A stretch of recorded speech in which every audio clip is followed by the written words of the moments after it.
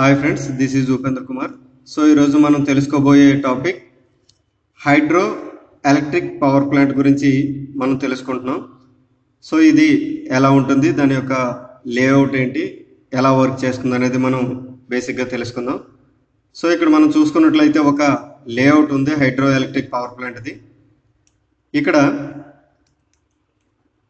ఒక డ్యామ్ ఒకటి మనం కన్స్ట్రక్ట్ చేసుకుంటాం.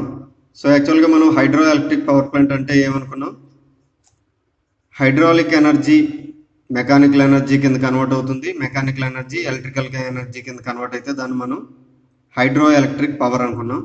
సో ఇప్పుడు దీనికి ఒక డ్యామ్ ఒకటి మనం నిర్మించుకున్నాం. డ్యామ్ ఉంటుంది.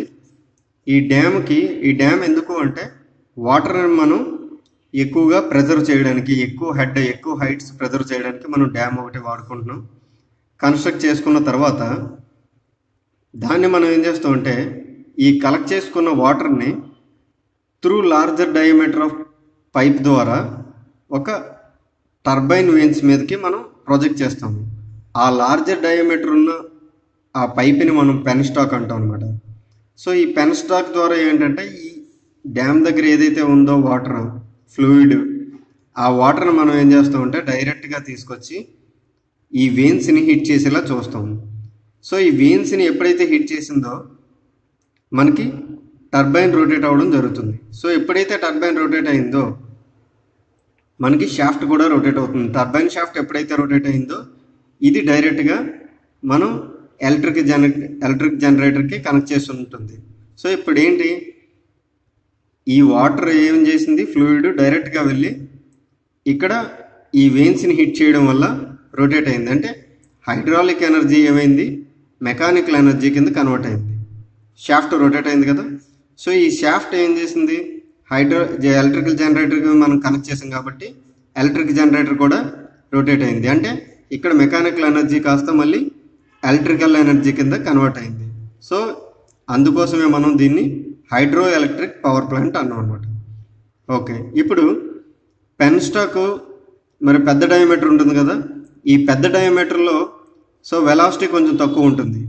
సో ఈ వెలాసిటీ పెంచడం కోసం ఏం చేసామంటే ఇక్కడ మనం నాజల్ అనేది ప్రొవైడ్ చేసాము.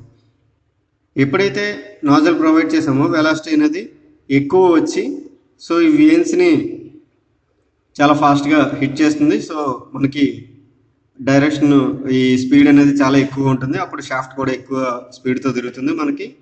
ఎలక్ట్రికల్ ఎనర్జీ కూడా మనకి ఎక్కువ వస్తుంది. ఓకే.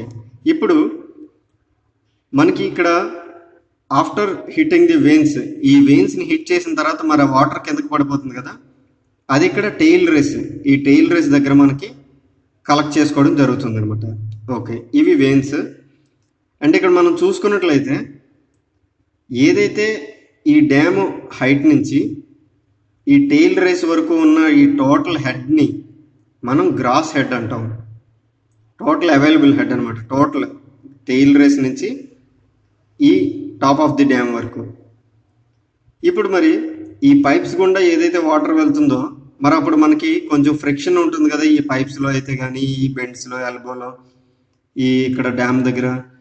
సో అక్కడ మనం ఏంటంటే ఒక ఫ్రిక్షన్ ఫ్యాక్టర్ అనేది కన్సిడర్ చేసుకోవాలి. ఇక్కడ మనం చూసుకున్నట్లయితే హెచ్ అనేది నెట్ హెడ్ హెచ్జి అనేది గ్రాస్ హెడ్ హెచ్ఎఫ్ అనేది friction head loss due to friction HF అనేది head loss due to friction HG అనేది gross head total tail race నుంచి హెడ్ హెడ్ రేస్ వరకు ఉన్నది. ఓకే ఇది ఇప్పుడు మనం ఏంటంటే ఇది హెచ్జి కదా సో ఇది హెచ్ఎఫ్ సో ఇది నెట్ హెడ్ అవుతుంది అనమాట ఇది మనకి బేసిక్గా layout of a hydraulic హైడ్రాక్ hydro electric power plant so ఇప్పుడు ఏంటంటే హెచ్జి అనేది గ్రాస్ హెడ్ కదా. మరి ఈ head loss due to friction దానికి మనకి four FLV square by two GD దాని యొక్క ఫార్ములా సో వి అనేది velocity of the flow in penstock L equal to length of the penstock DA equal to diameter of the penstock so మనకి అక్కడ HF అనేది మనకు వచ్చేస్తుంది. So HG అనేది మనకి మనం మెజర్ చేస్తాం. సో నెట్ హెడ్ అనేది మనకు వస్తుంది అనమాట ఇది హైడ్రో ఎలక్ట్రిక్ పవర్ ప్లాంట్ అనేది ఎలా వర్క్ చేస్తుంది అనేది బేసిక్ మీకు చెప్పడం జరిగింది. మీకు అర్థమైందని అనుకుంటున్నాను. ఏమైనా డౌట్స్ ఉంటే అడగండి. మా ఛానల్ సబ్స్క్రైబ్ చేయండి షేర్ చేయండి. Thank you thank you very much